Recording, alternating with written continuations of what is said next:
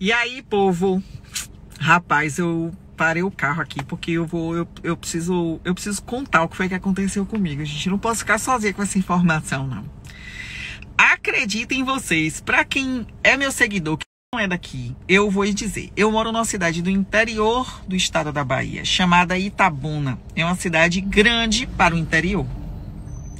E é uma cidade que minha gente tem um trânsito complicado tá?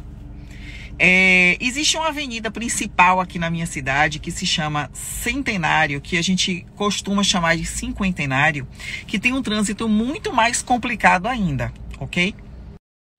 Então, né, é, nessa avenida, acreditem, eu tomei uma multa da, do pessoal do trânsito aqui local, municipal, porque eu estava buzinando excessivamente. Eu vou te falar, se eu estou errada numa situação, eu admito, eu sou a primeira a admitir. Quem me conhece sabe que eu admito que eu estou errada, eu peço desculpa. Agora eu vou dizer uma coisa para você. Minha pergunta é: se o agente de trânsito me viu buzinando excessivamente na cinquentenário, por que, que ele não foi olhar a razão pela qual eu buzinava excessivamente? Porque aquela cinquentenária é uma casa de puta que todo mundo manda se ele estava buzinando é porque alguma coisa estava acontecendo. O que é que o agente de trânsito fez? Ele foi me multar em vez de olhar o que estava acontecendo. E o que é que Catiana Murim vai fazer?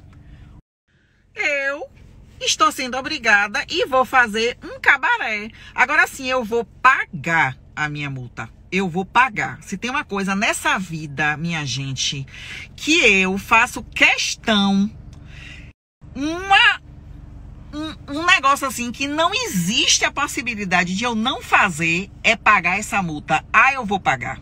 Eu vou. Eu vou.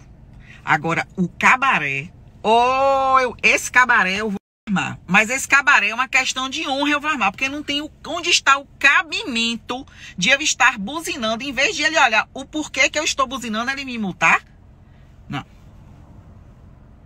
E eu vou dizer mais. Só para finalizar, por que, que eu tô falando tudo isso? Eu tô fazendo um desabafo. Sabe por quê? Porque eu posso.